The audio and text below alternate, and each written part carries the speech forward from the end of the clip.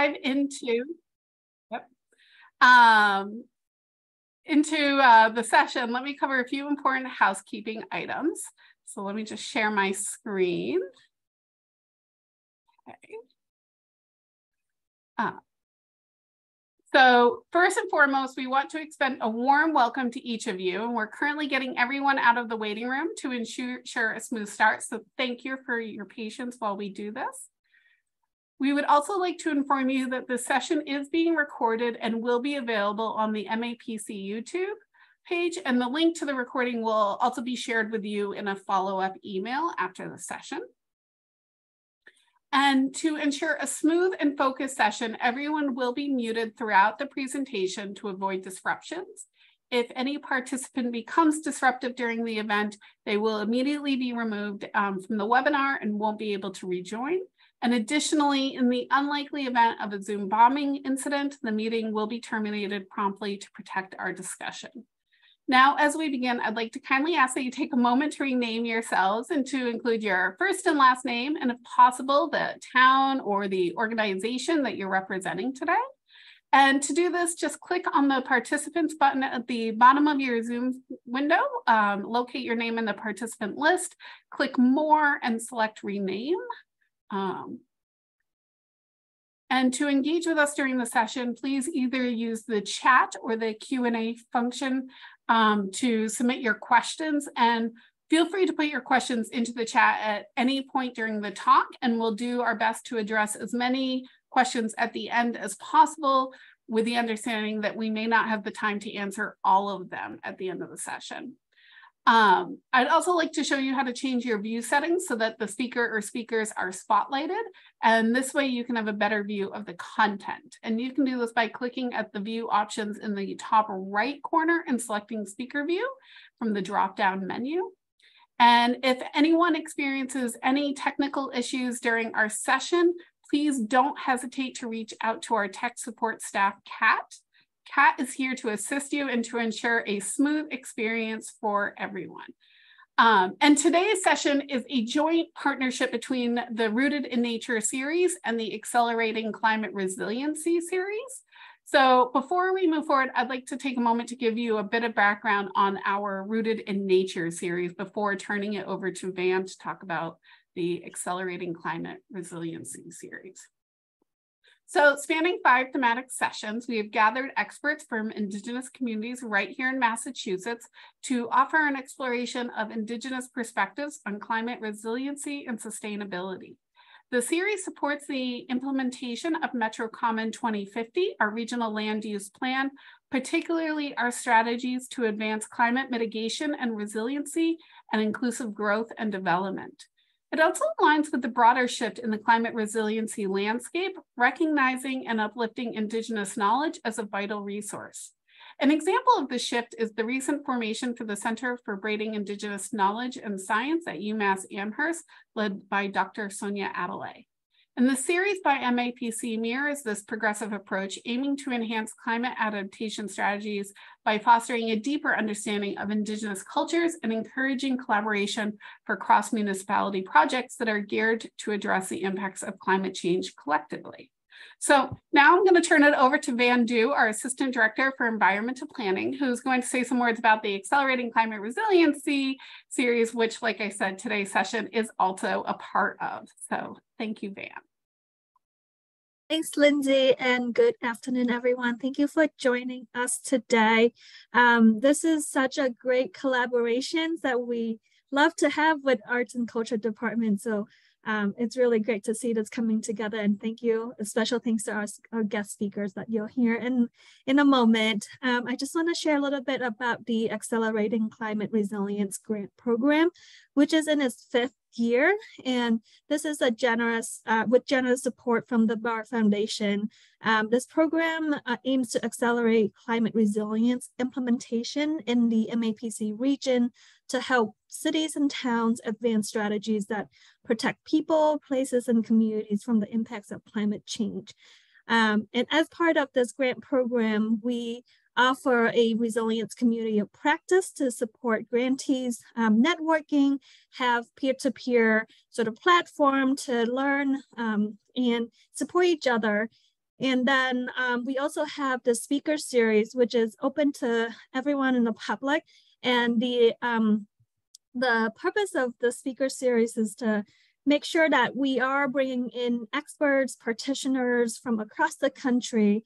Uh, at some point last year, um, we had someone from Australia to, I think we could say globally, um, who can speak to the ways that, um, you know, uh, in, of inspiring, innovative, but also um, solutions that we should think about and bring it back here to our region um, in supporting um, advancing res resilience projects here in, in um, our region. And so with that, uh, thank you again. I'm really looking forward to hear um, about today's sessions and I'll turn it over to Lizzi. Great. Thank you so much, Van. Um, it's so nice to meet all of you. I'm Lizzi Weyant, the Deputy Executive Director at MAPC. Um, I'm so thrilled to be able to participate in um, the third of this five part series.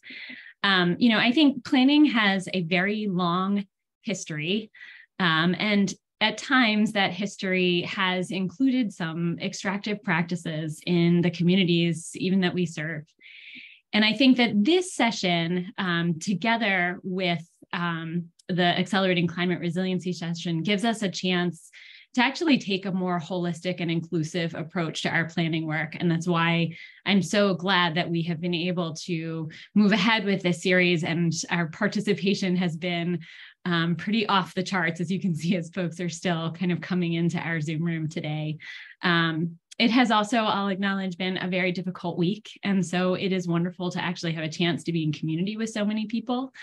Um, I just really appreciate that everyone is here, um, so eager to learn about this as we are. I'm so proud of the teams that have put this series together because it is um, a pretty wonderful thing for our agency to actually be able to think about how we make the region a better place for the people who live, work, and play here, and really keep our eye um, on the land and the people who help steward it in a way that is ecologically sound.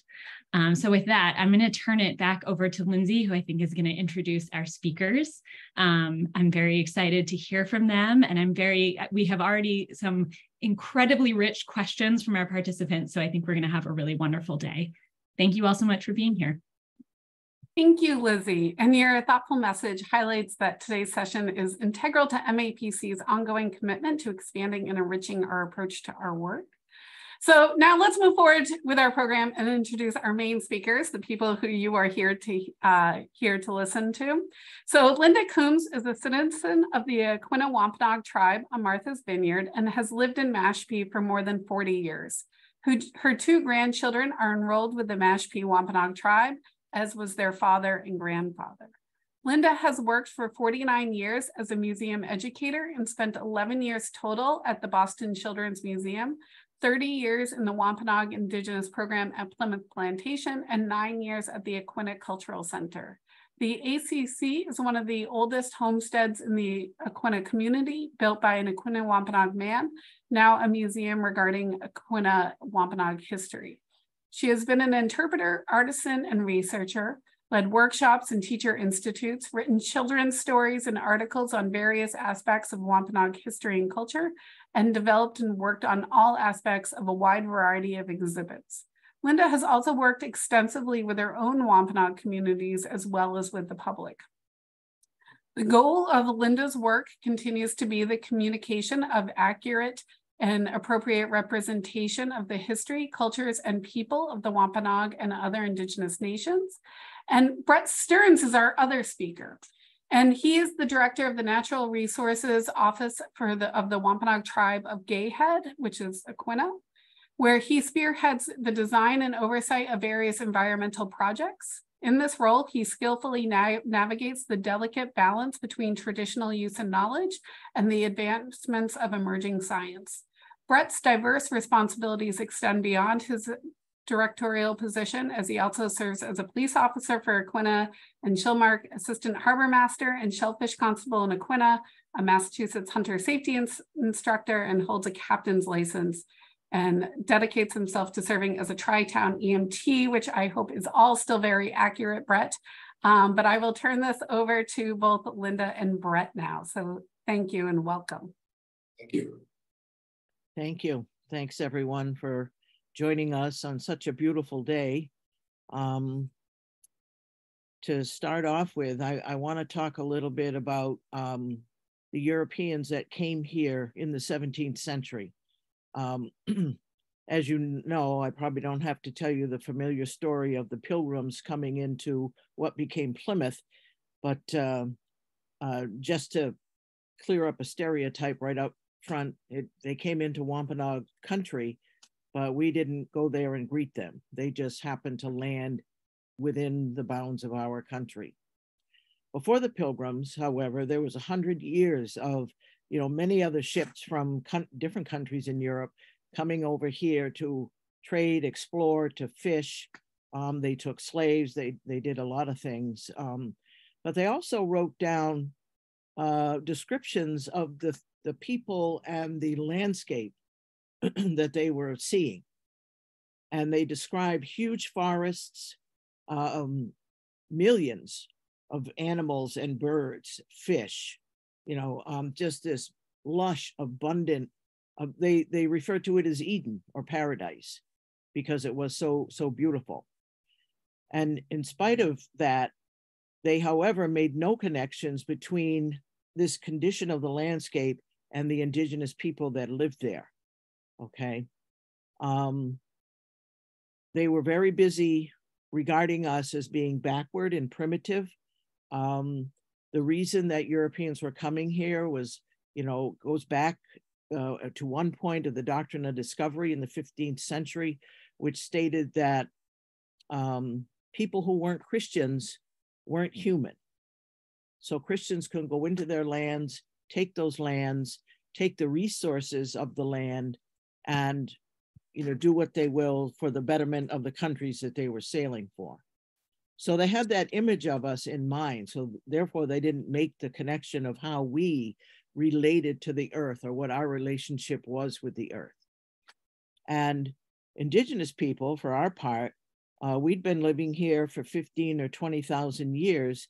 And over that time, uh, had developed many ways. Our cultures, uh, practices, everything um, came, you know, it's such a depth of knowledge, you know, this intimate knowledge and understanding of what the earth was about okay?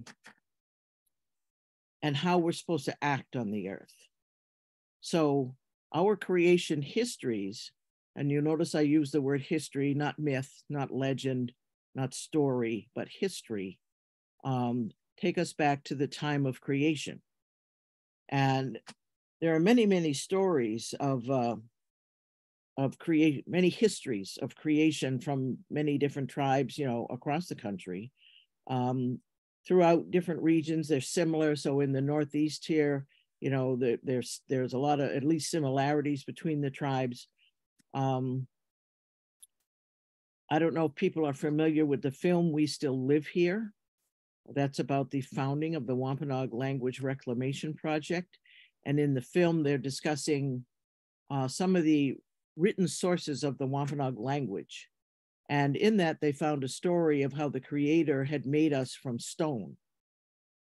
But we were clunky and, you know, kind of dim witted, and we didn't love each other enough. So he recreated us out of the white pine. And the white pine is our ancestor, our relative.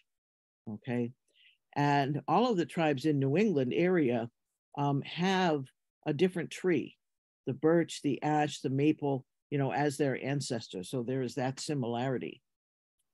But the creator had made uh, everything in creation all the plants, trees, waters, animals, winds, whatever there is, he made it first.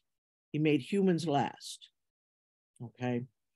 And he made things to work in a certain way, which is what I call natural law or can be called natural law. Um, another word might be ecosystems or biomes. Um, and everything in creation was given at the time of creation original instructions. Okay, so ants um, do what ants do, bears do what bears do, Sharks do what sharks do, the wind does what it does, you know, all of that sort of thing. And as long as everything in creation is doing what it's supposed to, then everything works and the balance is kept. The job of human beings was to keep all of those systems working as creator intended. That's our original instruction. Sounds simple when you say it. It's not really that simple in practice. And clearly, we, we have not done such a good job of it. But out of uh, these original instructions, you know, there emerged a, a system of values that Native cultures are created on. And the main value, I think, is respect. If you respect your relatives, whether they're human or non human, then you don't hurt them or damage them. That's kind of a simplistic view, but it, it can be that easy. And our cultures were developed in a way that, you know, flesh that out, if you will, into all our different cultural practices. You know, um, our traditional cultures were formed out of our original instructions. Um, every aspect of culture came from these things our language, the relationships between people and how people treated one another, the structure of our societies, our laws and governance, the way we lived our material life, and our relationship, therefore, with the earth. This also includes our spiritual ways and our ceremonies. And I think ceremony, I see ceremony as uh, sort of like the how to book that Creator gave us to carry out our original instructions, to keep those instructions present in our mind, in the forefront of our mind so that we live in right relationship. um, and ceremony is to give thanks, to acknowledge other lives and also all of creation. Humans, just like any other being in the world, must eat, clothe themselves, build homes, prepare medicines, keep warm. All of these things that sustain our basic life must, by the nature of things, impact or take the lives of other beings. And we are part of the natural world, just like the ants, the bears, the waters, the oak trees, and like them, we take from the world to sustain our lives. Since our instructions are to keep the world as created, to keep it in balance, we cannot just take and do nothing in return. The act of taking obligates us to give back. And so we perform ceremony and we recognize our relationship with those other beings, and we are in thanksgiving for their sacrifice. Uh, humans also had many different practices that gave back in some fashion so that creation is kept even as we have to take to live. This is reciprocity. Um, and this is also reflected, you know, in our languages when I introduce myself in the Wampanoag language, I would tell where I'm from. And I would say Nutamas Aquanahanat. That means I'm from Aquinnah. But it doesn't just mean, um, you know, I'm from number two Elm Street down there on the left in Aquinnah. What that word actually means is that my DNA comes from that place that that place in myself, that earth of that place in myself are one thing. Okay. And knowing that, that's what, you know, generates that respect for the land. And if I want to say land, um, the word for land is aki. And I, because of the structure of the Wampanoag language, which I'm not a linguist, so I won't attempt to get into all that. But land, you cannot just talk about land in and of itself. It has to belong to someone. I guess because it's a relative. So if I'm going to say my land, you might think it would be the to say my or I, there's a prefix na, nu. Okay. Um, and we put a T in there to make that word flow more smoothly. So you might think it would be Nataki, but that's not correct either. So there's a suffix added, the letter M, and the word would be Natakim. That F M uh, suffix, rather, that is the, the part of the word that tells you that myself and the land are one thing, that we cannot be separated. Okay. Um, but when the English came here in the 17th, 16th, 17th century, they didn't recognize all of this. They were too busy thinking we're primitive and backward and all of this sort of thing. Um, they they had no concept of our relationship with the earth. Um, they felt that we were in need of civilizing, of Christianizing, um, and they began to impose many processes of colonization that over 400 years have interrupted, disrupted, or halted the ways that we had practiced for centuries to carry out our original instructions and to keep the earth in balance. Okay. Uh, for example, slavery was one of the first things that happened. There were slavers that were on the seas coming to these coasts before 1620.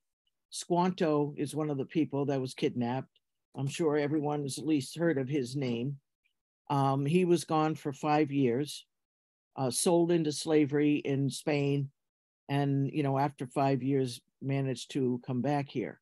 But if you um, and a lot of men were sent into slavery after the, the end of King Philip's War in 1675 boatloads of men. And the whole point was just to get the men out of here. If there's no men, there's no resistance, there's no fighting. There's also the people, it was their job to build our homes, to hunt and provide meat for the family, and, and to do many other things. And those things were taken away when people are put into slavery. With, with the introduction of Christianity, uh, people were forced to live like the English. We were to be as much like the English as we could be. In our traditional society, the women did the farming, growing corn and beans, squash, pumpkins, melons, and sunflowers. The reason that we did that, because corn is believed to be a female spirit, and of course, as are women. So it just makes sense to have a female spirit nurture another one. But in the European way, men were the farmers. That's a 360 degree flip.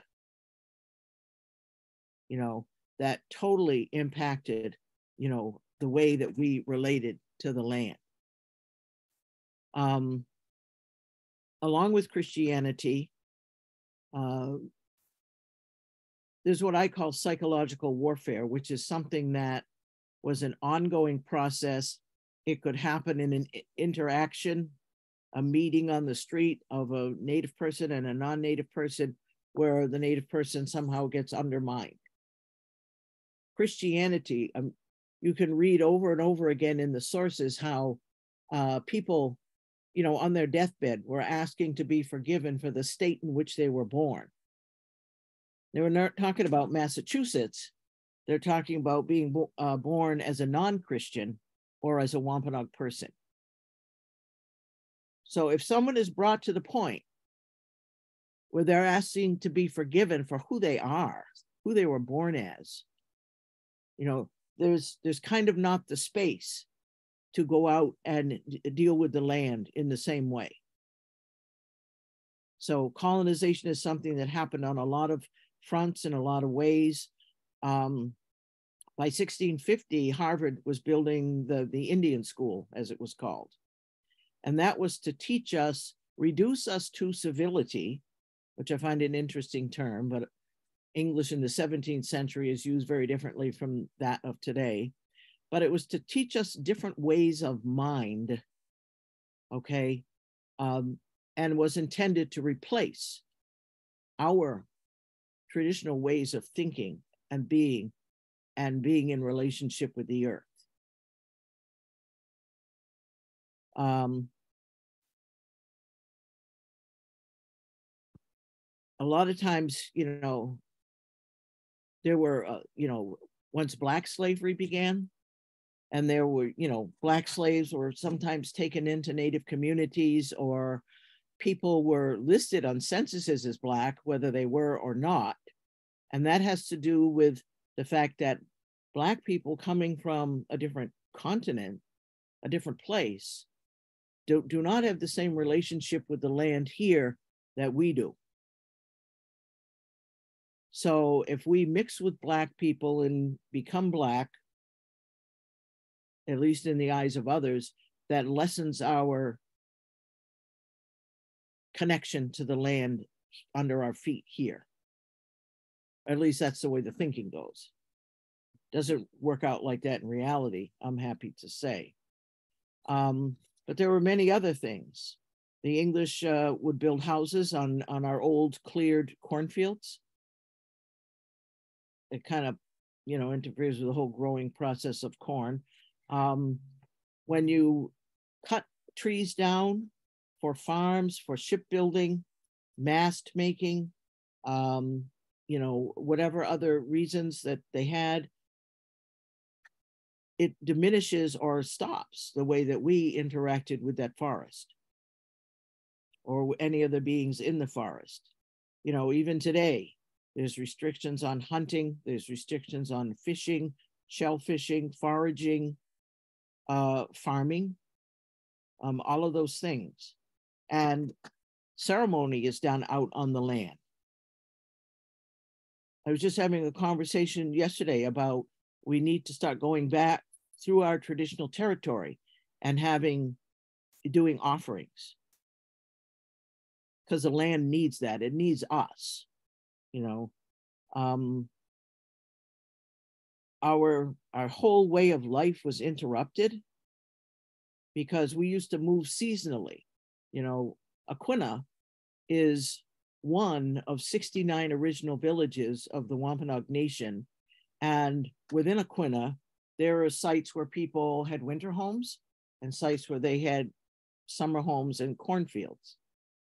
And they didn't have to be, you know, 100 miles apart or west of the Rockies or anything. It could be just a little bit more inland, you know. Um, but when other people come in and buy the land, that disrupts what we had always done. See.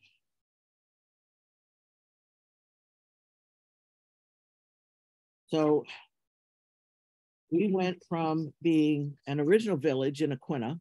Mashpee also was one of the 69 original villages. Um, on the island, there were four. In addition to Aquinnah, there was Nunapog, which is roughly in the Edgartown area, Chappaquiddick, which is Chappaquiddick Island, and Takemmy, which is up in the West Tisbury area. Um, now there's just the one at Aquinnah. And Aquinnah went from being an original village to what we called a district, an Indian district, which is another way of saying a reservation. And, you know, the people from the other villages were um, attempted to be moved on to the reservation, if you will. Because Aquinnah, um, if you don't know, is at least in, you know, and those a long time ago was a very hard place to get to. It's way at the end of the island. Um, and that's what reservations do. They put the Indians out of the way of other folks. Um, and with the with the Indian districts, you know, people were allotted certain acre amounts of acreage, okay, to to farm or you know there were areas that were woodlots, um, whatever, and breaking up the land into these sections like that, you know, also was an interruption. It flipped, you know, our traditional ways of relating to the land, along with like the men farming and the women not and all that sort of thing. And then going from an Indian district to a town, both Mashpee and Aquinnah have a similar history, you know, with that pattern. And then both in 1870 were uh, incorporated as towns in the state of Massachusetts, and in both cases, against the will of the Wampanoag people there. Because we could see, you know, what, what would be happening. Um, so all of these things, you know, have um, our land. We've we've not tended to it as we would have. You know, sometimes it's even illegal. You're on somebody's private property. You know, this sort of thing. So we did not take care of the land like our ancestors did, and now, you know, with every other people coming in and I find it almost ironic that people call de- what people call development, which sounds like you're building something positive, like houses, businesses, you know, whatever, uh, condos, you know, what have you. But all of those things have completely altered the way that we use the land and have contributed to um, you, you know the destruction of the land and the environment. It disrupts. If I can use solar, um, I was thinking of a, a places, a number of acres here in Mashpee where a certain individual wanted to put up a solar farm and it got voted down in the town or whatever. And he went and cut down all the trees. It was a forested area. He went and cut down all those trees anyway. And then there are adjacent neighborhoods that all of a sudden there's more rabbits and squirrels and coyotes and rats and foxes and raccoons and birds, hawks, whatever, displaced all of these animals. Trees that were, I don't know, 50, 100 years old. Those are our relatives. There's a lot of white pine in there. if that man was thinking like those were relatives, personally, I don't think he would have been thinking about solar farms in the first place. Because solar farms cannot do what trees can do. Um, but it's, you know, and it's thinking like that. That's one example. And there's many. I could go on for, you know, ever. um, you know, thinking like that, that has brought us to this brink of environmental collapse that we're experiencing today. Okay. And taking care of the earth is a responsibility of all humans. You know, that's for all of us to do. Um, and together, you know, is better. Um, and I think that, you know, we can certainly learn from the values and the practices of our ancestors, um, all ancestors. You know, there are many tribes that are facing, grappling with immediate impacts of uh, climate change and whatnot. But our goal is to restore the balance of nature. That's the only thing that will work. And anything that's done, solar, wind power, whatever, fossil fuel, whatever it is, has to be measured up against that. And if it, you know, if it is gonna if it's to disrupt it or destroy it in any way, then it's not going to work. You know, I think, and, and that's where I've come to in my thinking about it, and which is pretty a harsh place to be. But I think that um, we need to have new thoughts about all of this. So, um, thank you. Glad to answer any questions when we get there. Thank you, Linda, for your thoughts and your perspective on this. Um, I think we can turn it over to Bret to talk about how he takes sort of the information that uh, Linda just shared and how he puts this into per, you know into practice with his work. Um, but of course, Linda, always interject when Bret is talking if he doesn't do it correctly. Yeah, it, it happens a lot. um, you know, over the, I've, I've been fortunate enough to serve the tribe for 29 years, and, and I'll start off by uh, just saying to everyone that I am not a citizen of the Wampanoag Nation. I know everyone always questions that in the very beginning, and it's true. Uh, I am not a tribal citizen, but I, have worked with the tribe for uh, going on 30 years. Uh, I've been lucky to do so, and I've listened to Linda uh, for most of those years, and it's always you know, it, it's a great experience for me to, to just sit and listen to her and, and the perspective. And so I'm glad to be here today and to share with you. And I, and I think that my goal here is just to give a crash course in what is a natural resources department for this tribe. Uh, and it, you know, it, there's a lot of similarities between uh, the Wampanoag tribe of Gay Head Aquinnah and other tribes. Uh, there are some things that we do better and, and some things that we're a little lagging behind in Indian country. Um, so uh, again, I part of what my duties are is to oversee the natural resources department. Uh, I also oversee facilities and maintenance, a few other things. But so the natural resources department for the Wampanoag tribe, what does that look like? Um, we have a ranger program, so we have um, up to two. Right now, I have one uh, ranger. That's a law enforcement emergency medical responder uh, to tribal lands. Um, I have a environmental program coordinator. Uh, so that's someone who helps me with grant writing, uh, keeping up with uh, all the local, state, and federal protocol that uh, falls upon our programs. And then the we have a laboratory, a state certified laboratory that um, over the years have developed, and I have two people that work there, a lab manager and assistant manager. Uh, I'll talk a little bit about what we do with that. And then um, I have uh, some a, a, few other people that help out with specific things like fishery specialists and uh, biologist type person that helps out. So the team is very small. We're not a, we're not a big program. We're not a big department, but um, you know our focus and our goal um, is to protect, preserve, and enhance the natural resources of the Wampanoag tribe for the benefit of tribal citizens for seven generations. So, how is my job different than maybe a municipal natural resource manager? Is we're not really looking at what we do on a day to day. We're really looking at it on a long term. How how are things going to impact the future use of the resource and how is it going to impact the ability for future generations to utilize the same resources that have been here historically. So that's where the climate issues really come into play. I, I think I have a couple of examples that may help uh, sort of describe what we're working on and what we do. Um, to give a little bit of background, the tribe owns, maintains uh, approximately 600 acres of land in the town of Aquinnah, which is on the western end of Martha's Vineyard.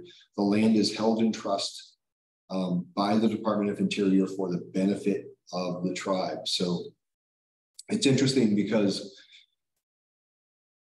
it's tribal land, but there are there are some strings that come with that. Uh, to, to have the sole discretion to do what they want on the property, there actually are rules and regulations that impact Department of Interior.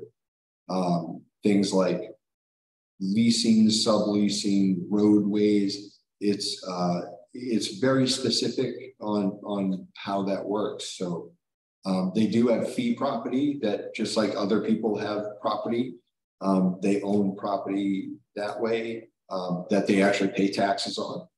And um, on uh, on the tribal property, we have uh, a little over 30 houses, and we have about 100, a little over 100 citizens that live on this land, which is remarkable.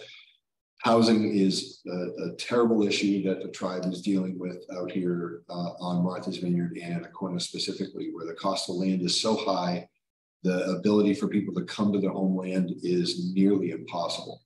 So uh, the tribe is, is battling uh, the same issues as other uh, places are. Like, how do you develop? How do you do it consciously? How do you do it in a way that brings community? How do you lay the infrastructure so that you're best utilizing the land and bringing people home? Bringing people home is, is a big priority around here. It's something that we talk about just about daily in my job. Um, so there is a housing authority uh, which is a uh, subset of the tribe. So the tribal council has authorized the lease of land to the housing authority, and the housing authority has a director and deals with the day-to-day operations of housing. So That's not part of my direct oversight every day, but we certainly work together on everything it takes to bring people home. So in our programs, like I said, we have we have natural resources. So we deal with just about anything, whatever town you live in. Um, we deal with all the same stuff, right? Like so, we have roads, we have um, you know, a tree falls down, uh, you know, anything that could happen during a day where like a town hall or a someone might call for assistance we we deal with we deal with all the same things. Um, most of our focus of course is is natural resource based but we get thrown wiffle balls just about every day in this job in just about every different uh, thing that you could even imagine.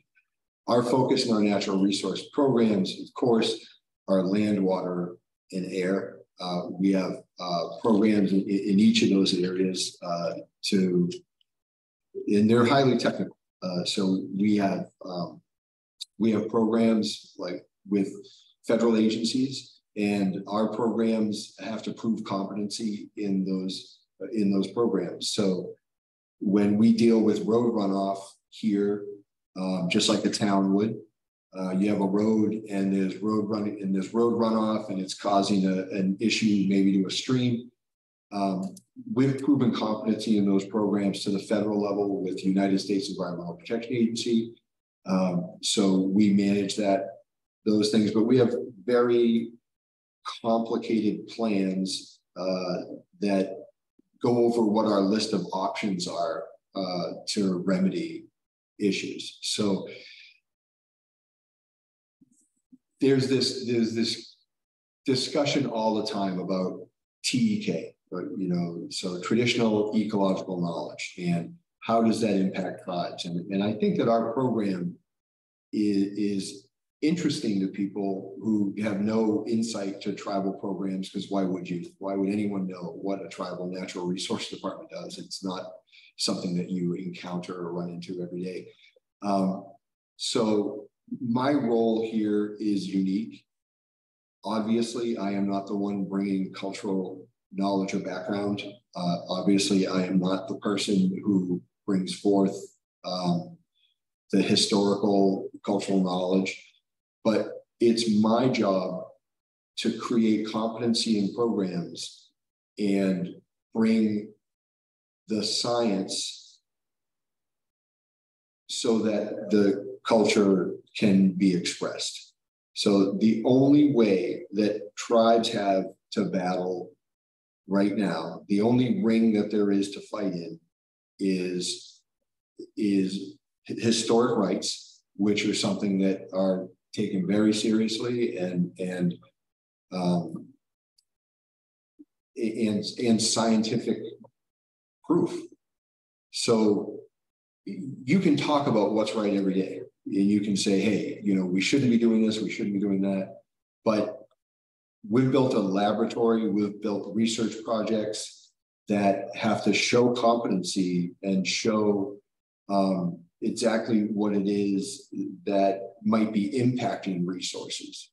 So in our laboratory, uh, right in Aquinnah, like we're state certified for uh, microbiology. So and we're a contract laboratory. So if you want to sell your house and you need to have a water test, you bring it to us. Um, if during the summer people want to go to the beach and uh, they want to go swimming in the water, the state says, hey, you know, there's certain swimmable standards that we have to meet. We have that contract. We evaluate that water. Um, we also have particulate monitoring on our property. So um, air particulates that come down and land on, on Aquinnah soil are evaluated, sent to a laboratory in California, and then expressed nationally with the United States Environmental Protection Agency uh, for air quality data. So when there's fires in Canada, and we're picking up atmospheric deposition from that, and and we show that right here in our own programs. We have an ozone program here uh, also that proves the connectedness to ozone in the New England region that ozone can actually come over water and to a different area. Um, so we have ozone monitoring in our laboratory. We have um,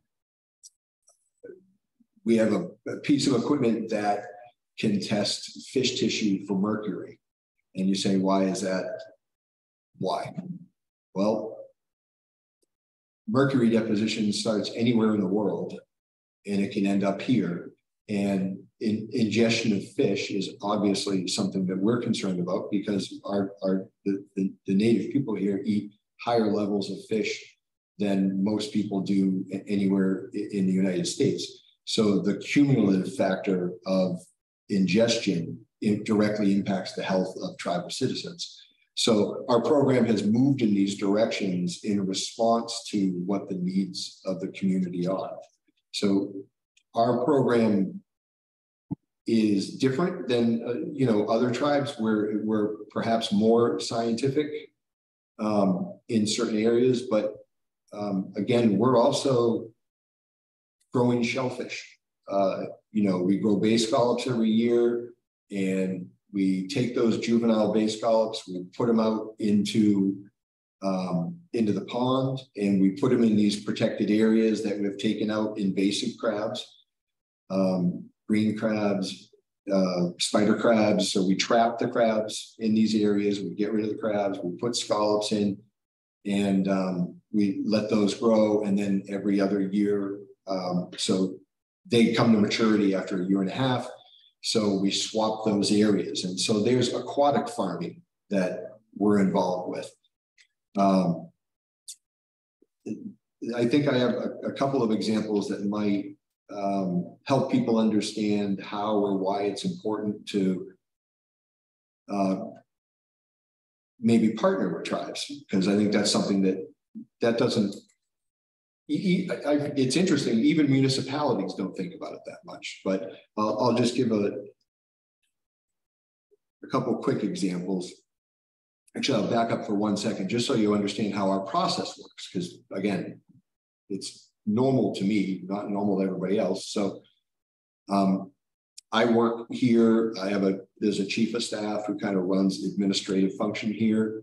Um, I deal with my team. I have a chief of staff, and then when I have ideas uh, about what direction we should be going in, I rely on a land use committee. So there's a group of tribal members that volunteer to be on a committee and that's where I pitch ideas. We talk about, that's where I get grounded, where they might say, hey, that's really interesting, Bret, but really what I need you to do is make sure that the cranberry bogs are healthy and I, we want to focus on that. We don't want to focus on, you know, other things. So that's where me as a, as a staff member, I get grounded, right? So I go to my land use committee and then when there's projects that deal with permitting, on tribal property, like we want to build a house, if we want to expand something or we need to do something in the building, we have a commission.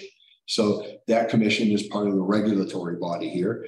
They have the ability, just like a conservation commission or, or other places in a, that a municipality may have, serves the same function. And then ultimately, tribal council uh, has the final say uh, of what goes on on these properties. So it's part of my regular it's part of my regular business to go to a tribal council meeting, give them updates, and express what's going on programmatically with, with everything that I'm involved with. So that's how we work internally. Not that much different, I think, than other places. It's just we're smaller, and so that's how it works. So tribal council ultimately has the, the final say on what happens here, and they're very in touch with um, things that are moving forward. So like my program, for instance, we rely heavily on grants. Um, the tribe and most tribes that I'm familiar with um, don't have a, there's no regular income flow um, like taxation, for instance, like a municipality would. So um, we're very engaged and involved in grant writing and partnering, uh, partnering with federal agencies to um, to get information or resources. So I, we do a lot of grant writing here. Um, we do a lot of grant management here, which is a whole different skill than uh, natural resource work. It's a it, it, it, takes a lot to keep up with both. Um, so some of our focus areas really are maintaining and protecting sustenance resources. We do a lot of that here. We do a lot of talk about sustenance resources and, and what we have to do to protect them. So in terms of partnering, uh, one good example was Hurricane Sandy. So Hurricane Sandy came through here and there's this uh, piece of property called Lobsterville Road, absolutely gorgeous landscape. Uh, it's a, a dune beach area. It's well known to people worldwide for fishing. Um, so it came through, and all of a sudden, our road uh, was cut in half, and there was about a seven foot drop from the road straight down. Uh, it was happened overnight. It was horrific. So, and that was that is access to um, one of the largest pieces of tribal property, uh, which is where our dunes are, uh, where our cranberries are, and the beach plums. It's a wild harvest areas known as the common lands, where people would go and, and harvest. In fact, the tribe just had Cranberry Day uh, right after Indigenous Peoples Day, and uh, happens every year, but that's a day where the kids have the day off from school. The community comes together and harvests uh, cranberries from the cranberry bog. So that had a huge impact.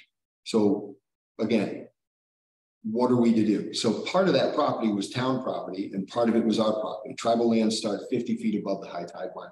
So it wasn't all our problem. Uh, but um, of course, we're a federal agency, we reached out to FEMA, tried to get some support from FEMA, worked with the municipality, and kind of laid out a plan. How are we going to get this done? There were a lot of hiccups along the way. Nothing ever went smoothly. That's, I think, one of the first things you learn in natural resource management. Uh, almost never goes as planned. We were stuck. Then I got a phone call from the Army Corps of Engineers. Army Corps of Engineers said, hey, um, there's some earmark money. We're going to be able to dredge this area called the Menemsha Channel. And because some extra money came in during Hurricane Sandy. So it wasn't their intent to put the sand back where it was lost. It was the intent to go to the shortest distance. And so again, this is where I think that the, the tribal perspective is a little bit different, right? So you have a federal agency that comes in and says, well, we're going to dredge, but it's going to go to the closest place, the shortest distance, the least amount of money. And then you have a municipality that says, well, we're only control of this property, so we can't say what happens on that property. And the tribe, who is also who is a partner in all this, I'm lucky where I get to take a step back and say, let's, I'm going to look at the big picture. I need to look at the resource. I'm not looking at the lines as much as I am the resource. And because I work for the tribe, I can dip my feet in and try and partner. And so long as the tribe agrees with that partnership, we can try and move forward. So the short of that story is it took a lot of years. We are seven years on that location. But the ultimately the town of Chilmark refused the sand that was going to go on its property. The town of Aquinnah accepted the sand that was going to go on its property. And then the town of Aquinnah ultimately said, well, we don't feel comfortable telling the tribe where the sand should go. We need to work with them. And so if you can envision the end of a pipe where all this sand is going to come out, Eventually, it moved itself a mile and a half up at extra expense to go where it was needed. And so, if you flash forward four years from the time that we finished that project, we now have more plovers in that area than we've ever had before. The area is restored. We grow beach grass out there each year, and we've now restored a you know a two mile stretch of land um, so here's the hard part for the tribe. There was no extra money that came into the department to deal with that for seven years. that was something that we went after congressional money. We went after money from United States Environmental Protection Agency. We went after money from U.S. Fish and Wildlife Service, and we we tied together all sorts of different programs to get to that point. So, partnering with a tribe, sometimes there's an ability to look beyond something that's linear and look towards the what might be considered the common good of a resource. And and I have a lot of examples like that. I'm lucky. I have a lot of examples like that over the years. Um, but I, I would say that that's the biggest part of what I do is stand up for the rights of the tribe and put a definitive line there in the sand about what their rights are, and then protect resources that encourage the protection of those uh, resources for future generations. I know we're getting close on time, so I, I just wanted to do a quick check-in. Um, no, we're good. If you want to give one or two more examples, I think we have the time for that before we do questions, or we can dive right into some of the questions. Love it. I've, I've got a great project right now that's very, uh, it's interesting to me. I'm passionate about it. And it, it kind of gives an example of how saddening the whole picture is. Um, herring are um, critical resource uh, for the tribe, historically, culturally. Um, it's one of those fish that's always been there. And in the blink of an eye, in the blink of my eye from the time that I started here, um, those numbers have declined. So seven years ago, um, again, you know, highlighting what are we going to be working on. Um, the real, the, the evident decline of this fish was staggering in the even just the, the 30 years that I've been here. So we went after some federal money with you had partnered with U.S. Fish and Wildlife Service with just a little bit of money. I mean, I am not talking about a lot of money. We make a little money go a long way. I've always said in the years and years and years and years that I've been doing this with all the different people, you get more bang for your buck working with a tribe than anywhere else because you're going to find people that are passionate, that care about the outcome, and are willing to do more than expected to see it happen. But and that is the absolute truth in Indian country. You can go anywhere you want. I guarantee it's true. So we started to, so we put in underwater technology and underwater counting system, um, technical, very technical stuff uh, to try to figure out the what's going on with our herring. So when we first put in the camera system, we all sort of took bets, right? Like, how many herring do you think there'll be? I was like, well, I mean, there has to be, I don't know, 150, 200,000. Like there has to be. I mean, there probably to be more than that. So like I, I didn't even know how we were going to count them. Because it was all anecdotal. You'd go down there one night, and I've been there when it was just there were so many, there wasn't enough oxygen to keep them all alive. They flooded the banks, and um, they were taken, uh, you know, just 20 years ago, they were uh, taken and they were used for lobster bait. They're used culturally. I'm sure Linda could explain, you know, as part of growing in the, in the spring, eating herring roe is, is absolutely a part of everybody in this community as they were growing up. Uh, drying herring, salting herring uh, to, you know, as a food source. Well, the first year that we did it, there was we counted 39,000. And I and I swore to Andrew, who's my lab manager, I was like, well, we got to fix whatever's wrong with that because we missed about 150,000 fish. So something's wrong. The next year, 37,000 fish. We were spot on. We can count every fish that comes back to tribal land. And that is horrible but it's funny because when I talk about our herring counting, people always say, oh, that's so interesting. Yep, it is, but it's horrible. The fact that you can count the number of fish that are coming back. So that's led us into how are we going to restore this fishery? And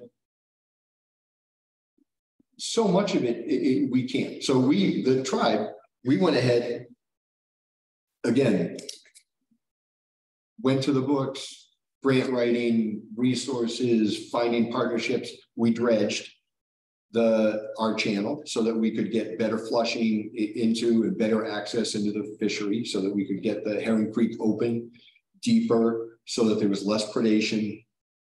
Uh, so we did that. That was phase one. Phase two is really understand the impacts and keep track of the numbers. Well, the numbers have been slow and steady right around that number. Now we, we have I have a partnership with a, a different partnership with Army Corps of Engineers that on their technology side.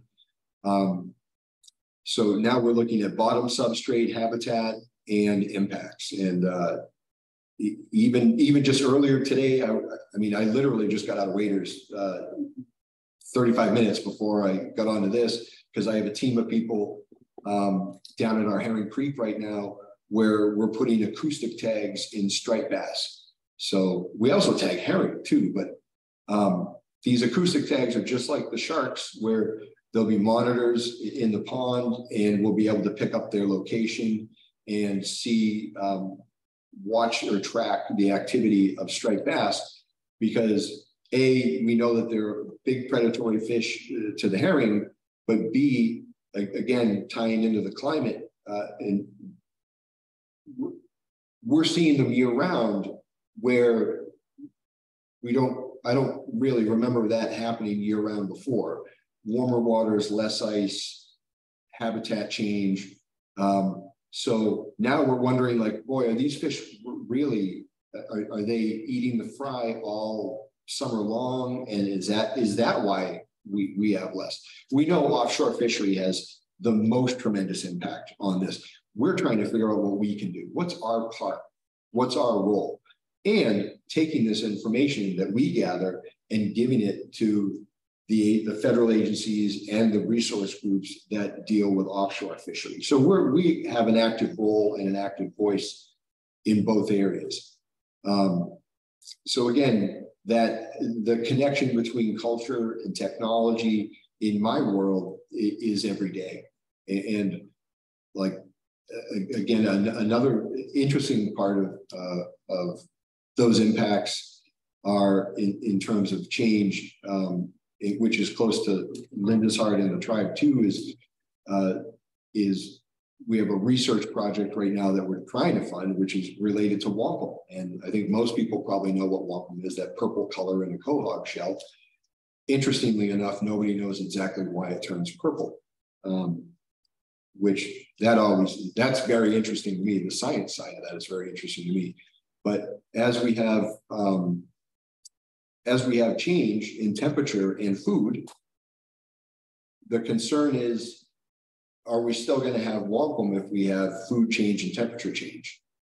So um, again, another research project that we have brewing now to connect culture, change, and technology and, and get to those answers and protect the resources. Because what could be more important to protect than the than really the history of not only our first currency in the U.S., but I mean the the thing that has tied the Wampanoag tribe together um, since time began. Thank you for that, Bret. Um, Linda. I, I'd just like to add something in terms of herring and what Bret was saying about herring, because um, you know I was mentioning earlier the the uh, Europeans who came here in the 16th and 17th centuries, and and they used to write down that when the herring was on their spawning run in the spring, um, the the rivers were just black with them. There were so many fish that you could walk across the backs of the fish to get across the river, you know, and um, and then the Mashpee Wampanoag tribe today has uh, a rights of herring initiative that they're working on. And that was actually one of the questions that someone had was if you could talk more about the rights of herring. Well, mm. what I wanted to say was that um, they have discovered in the herring, and I, I I'm can't remember if it's the herring roe or the the liver of the fish, but when they open the fish up, uh, I think it's the roe. It's gray, Typically, they're orange, golden color, you know, if they're healthy. and but these are gray and and it's like so it's you know as bret said there's the over harvesting thing um i mean 20 30 years ago we used to purchase herring at the wampanoag program at the plantation uh, to fertilize our garden which was a small garden maybe a tenth of what would one family would have had you know which was 400 mounds 800 fish and we're purchasing frozen herring that were gotten for you know the lobster bait or whatever else they might use them for rather than go out and get more fish you know ourselves. And they're like six inches long. They're young fish. They're tiny you know? And uh and now it's like you know, so there's the over harvesting thing but that what is it in the environment in in the ponds in the rivers in the ocean that are causing these fish to be so sick that they're that they have gray uh roe you know so I Um, can yeah, touch on, um, in terms of, uh, the rights to herring. Uh, I don't want to limit the conversation to herring, but the, the state of Massachusetts has, has clearly recognized, uh, sustenance rights of, uh, Wampanoag people. I- I- and I'm only going to speak for the Wampanoag tribe of Gayhead, Aquinnah. Um, I don't, I don't want to speak for Mashpee, but I'll, but I, I'll just speak for what I know to be for the tribe, uh, for Aquinnah, is the, is, um, that a, a, Wampanoag citizen engaged in sustenance harvesting has the right to do so, uh, in, in anywhere that they're legally therein. So, um, and so, and it doesn't matter what season, and it, for the most part, doesn't matter by what utility they are harvesting. So um, if someone is bow hunting on the 4th of July and throws a deer over their shoulder and joins the parade, then you there's no phone calls to be made. There's nothing necessary there. Um, and if an environmental police officer encounters that tribal citizen, it, it should be short and sweet. Uh, you know, there's they have the tribe has issued tribal identification cards, and a, and a tribal member uh, has the right to do so. So um, I, I get a lot of calls about you know activities that are taking place, and I've met you know plenty of police departments at odd hours and in interesting places, and uh, that's that's the way it works. And, Uh, and size size and limit also. Like I'll I'll I'll just save your phone calls on size and limits. Uh, don't call, don't bother. Um, if someone, if there's a fish that you believe to be over or under uh, anything, uh, what you're referencing is a Massachusetts law, not a sustenance right. So that's, it doesn't apply. thank you, because uh, we had a question come into the Q and A about if you could share more about how hunting restrictions differ for uh, Wampanoag for tribal members. So Bret is correct. The those rights supersede Massachusetts law on that. Um, sort of related back to the fish. Um, sorry to go back to that, but we had a question about um, related to like the rights of herrings or alewives and things like that. Just do either of you have thoughts about um, many of the conversations in our state and our communities around dam removal and um, what communities should be thinking about in terms of um, fish and the health of the ecosystem when they're discussing um, river dam removals.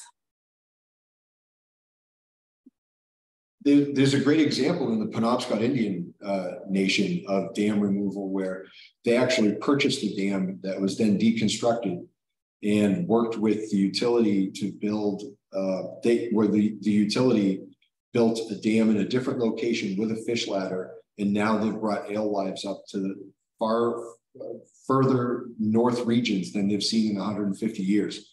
And they also have salmon uh, going back to traditional uh, historic areas. Um, so again, you know, we don't have dam issues out here on Martha's Vineyard except for in streams uh, where there is some limited access uh, through some like properties for herring.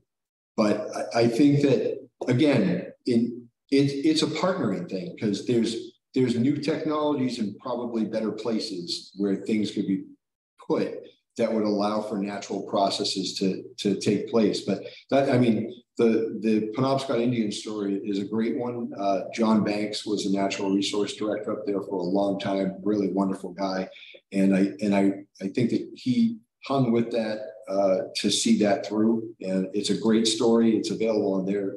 They they made a great video about it. But again, another example of where tribes can be involved in bigger picture. Like let's let's look at the big picture and let's look at the picture from the perspective of the resource. How can we do better? Um, and, and Bret, to, to add to that, and I, I, I guess I kind of have a question myself. Um, is uh, over in Kingston, Mass, near Plymouth. Um, we were visiting uh, some folks over there, and in back of their property is a pond, and it, there's a little herring river that runs down and there's a someone had put in a dam like a hundred years ago. And that's what caused this pond to form.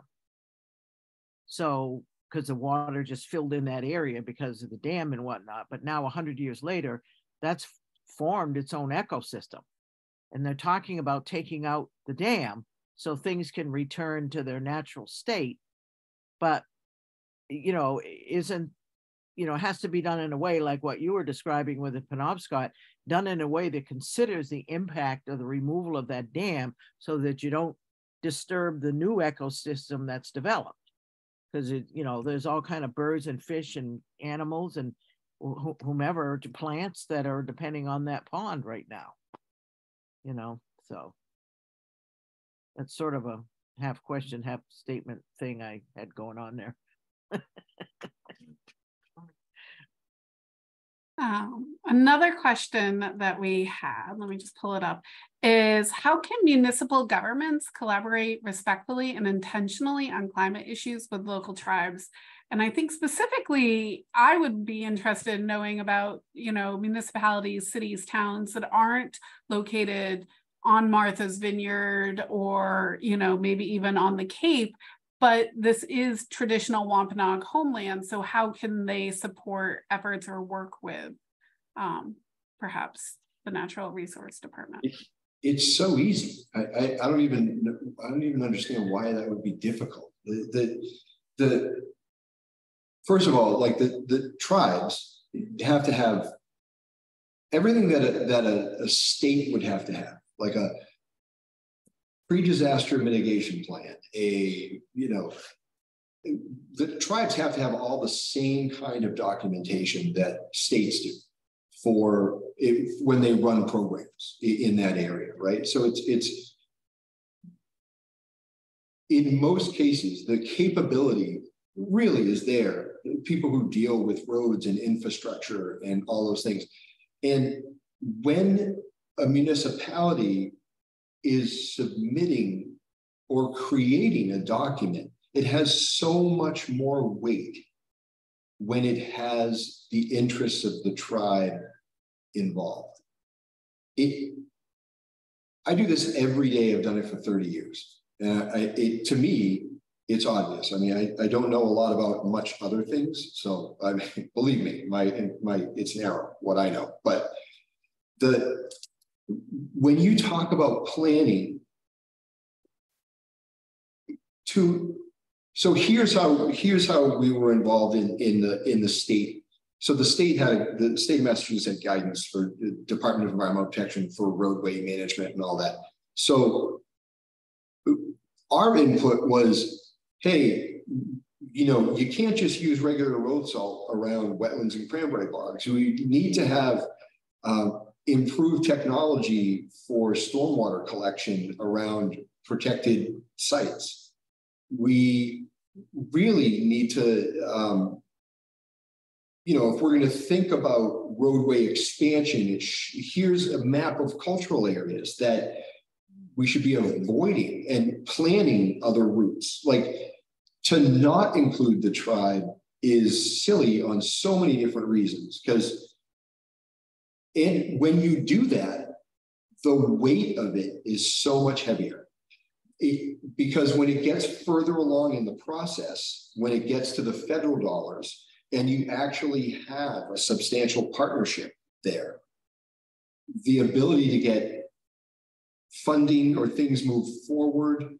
Because um, remember, a, a lot of these things that are that are municipal or federal have to have like historic preservation review, section 106 compliance for um, cultural artifacts. It, it, it can save you so much time, but forget the time. That's again, it, it's it's really the right thing to do. But I, I think that I think that the whole process is going to come out so much better. Uh, on the island, we like we do. There's an island-wide emergency planning, and this island-wide, you know, um, you know, documents for you know what we're going to do long-term, short-term for uh, climate adaptation. We've been part of that. The the tribe actually put forth a representative to serve on the committee on the natural resources, um, so that they would be good insight from the tribe and tribal and sign off from the tribal council as they moved it forward. But what a difference to it, let's say that let's say that the municipal agency was going after funding to redo a, a bridge and they already understand that hey look if the tribe is going to be part of this bridge the the water is the, we're not sending the road runoff right into the river like we've done in the past right? We're going to fix that. Um, and and there's this whole invisible infrastructure that a, a, lot of people don't understand like the like the Wampanoag tribe here we have what's called a, a, an IRR system. It's Indian Reservation Road System right? So we have roads here but we also need the tribe also have to has to access the ferry system which is in two different towns. And that means that people have to go over bridges. So in the town of Tisbury, which is on the other end of the island, when they they had to replace a drawbridge that went up and down. We only have one that goes up and down. Well, when they went to do that, there was a million dollars set aside for tribes that was held on, on the federal side that was then released to the state to support that project because the tribal, the tribal citizens had to use that bridge in order to get to the to the to one of the ferries. So uh, it's not just about the money. This is about community. But it makes so much more sense to have those conversations ahead of time. It really does. Um, in in uh, Mashpee, the Mashpee Wampanoag Tribe Education Department um, within which is the Rights of Herring uh, initiative, but they also have uh, another um, initiative that's going before the town, um, you know, meeting. But there's a, a, place in town called 12 Acres that it's a hill that's above uh, Mashpee Pond. And they, uh, years ago, uh, 50, almost 50 years ago, the, the town uh, was working with tribal members to create, you know, a traditional Wampanoag village.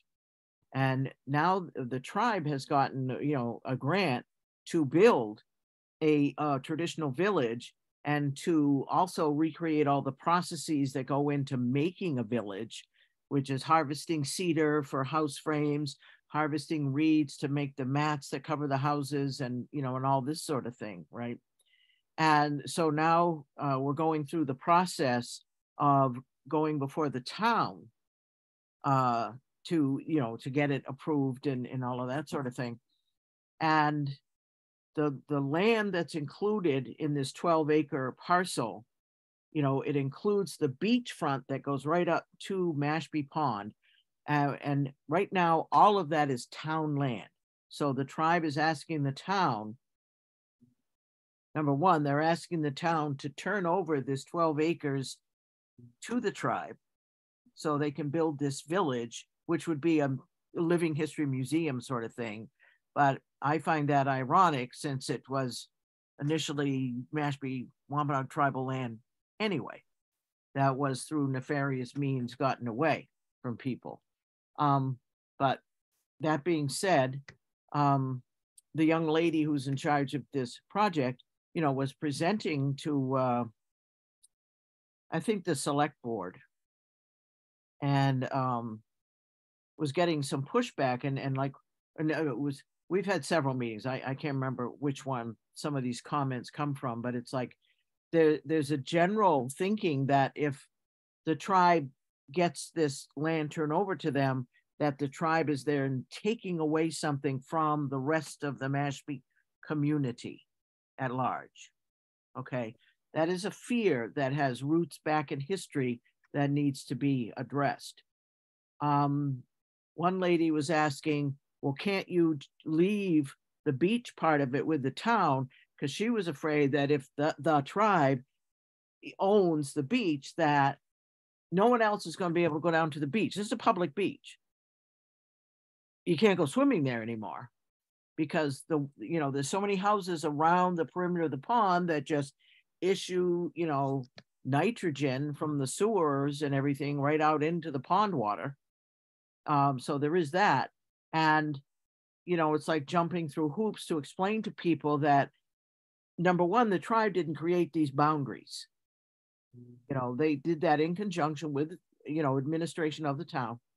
Um, but having this beachfront also be part of the 12 acres, just as Bret was saying, the tribe has access to federal dollars, you know, for water cleanup, which they couldn't utilize if that beachfront property wasn't part of the uh, 12 acre package, you know, and so, you know, just this whole idea that the tribe is taking something and it, it almost blocks reasonable thinking.